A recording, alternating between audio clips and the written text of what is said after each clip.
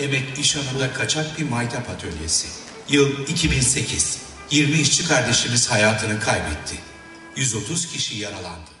Tam iki buçuk yıl boyunca ilk, ilk olarak Taksim tramvay durağında 32 hafta davanın açılabilmesi için bilirkişi raporu olmasına rağmen uğraştık.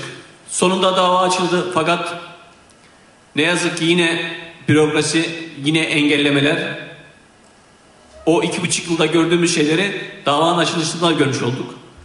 Davada İstanbul Büyükşehir Belediyesi, Zeytinburnu Belediyesi, BEDAŞ, Çalışma Sosyal Güvenlik Bakanlığı İl Kurulu suçlu gösteriliyordu. Ne yazık ki davada sadece Zeytinburnu Belediyesi müdürleri suçlu olarak ancak ilk etapta dava açabildik. Fakat şöyle bir şeyle karşılaştık. Zeytinburnu Belediye Başkanı'nın sanık olma, olmasını engellemek için o zamanki Zeytinburnu Belediye Kaymakamı yargılanmasına izin vermedi. Yani insanlar suçlanan kişileri mahkeme karşısına çıkmasını istemiyorlar. Sanık ifadesini mahkemede verir, kararı hakim ve savcılar verir. Bizde maalesef kararı siyasiler, kaymakamlar, İçişleri Bakanı, valiler veriyor.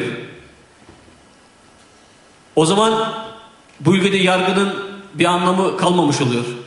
Biz bunu bir üst mahkemeye taşıdık. Bu sırada davada dava duruşmalarında yapılan tanık ifadeleri, sanık ifadeleri dinledikçe anladık ki bu ülkede çalışan kesimin yaşama hakkı yokmuş.